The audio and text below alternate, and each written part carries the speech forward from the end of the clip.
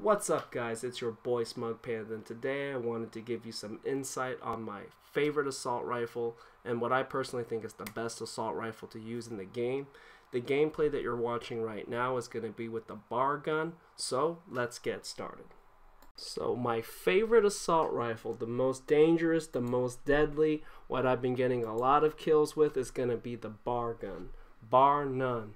So this automatic rifle has a very low recoil and that's actually one of the lowest recoil assault rifles in the game and it also boasts very high damage as well. The only con to using this gun is going to be that the magazine count is going to be very low so you only get 20 bullets per magazine but all you got to do is find a good safe place to try and reload. But other than that, this gun is going to be amazing.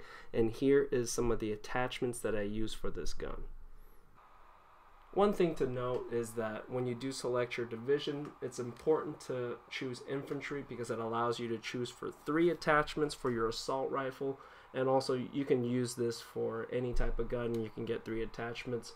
But the attachments that I do use is going to be quick draw, grip, and full metal jacket. The quick draw I like to use because I play in hardcore, so it allows me to kill my opponents much faster. It allows me to get the drop on them before they can shoot me, so it makes it pretty competitive. And also with the grip, also that's going to increase your accuracy when you're playing. Full metal jacket, you can shoot through walls. It'll increase your um, it'll increase damage against score streaks and things like that.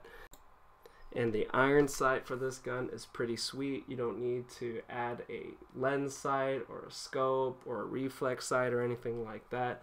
It makes uh, shooting people pretty easy just with the iron sight by itself so you don't need to waste an attachment on that. Let me know what you guys think in the comments below and I hope you enjoyed the video. Talk to you guys again real soon. Panda out.